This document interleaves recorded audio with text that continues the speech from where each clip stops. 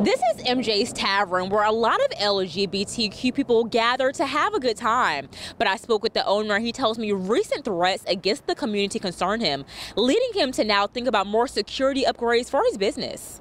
We're made a target by those who think that they are better than us because we're different than them. John Childers is mourning after the tragic shooting at Club Q in Colorado.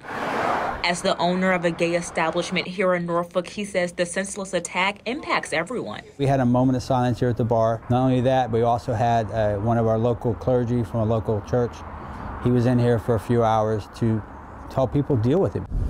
The Colorado shooting came during Transgender Awareness Week and hours before Sunday's Transgender Day of Remembrance, where events around the world are held to remember and mourn transgender people lost to violence. It's scary.